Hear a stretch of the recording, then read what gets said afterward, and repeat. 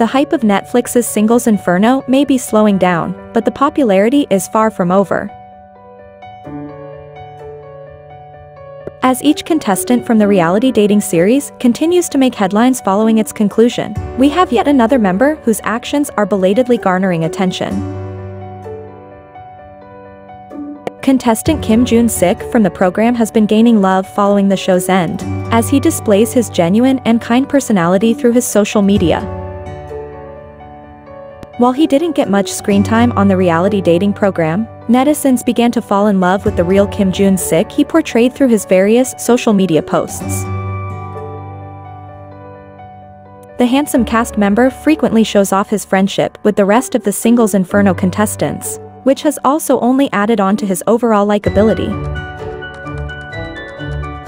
As he continues to make headlines for the different ways he showcases his friendships and personality comes, yet another headline-making example. On January 29th, Kim Jun-sik uploaded what seemed to be a simple Lunar New Year's message for all of his fans and Instagram followers. The sweet message included words of encouragement and blessings. As the Singles Inferno contestant expressed his desires for a better upcoming year. However, Korean speakers who read Kim Jun-sik's message noticed something unique about his message. Upon seeing that his Instagram caption began with an exclamation point, they read the first word from each sentence from the bottom to the top. It was here that netizens realized he had left a subtle hidden message of support for his fellow Singles Inferno contestant, Song Ji-a. Back in January 2022, Jia, the show's breakout star, was caught wearing numerous fake designer items throughout her time on the Netflix show, on her YouTube channel, as well as her Instagram account.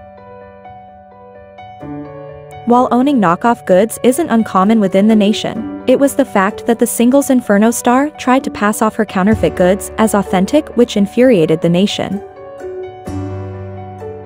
Due to the mass backlash and harsh criticisms she began to receive, Jia quickly apologized for her mistakes and removed all of her content from her social media accounts.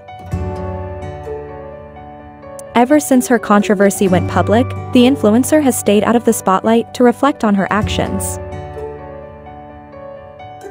Given the heated situation, many of the other Singles Inferno contestants have not addressed Jia's controversy due to the potential backlash they could also receive.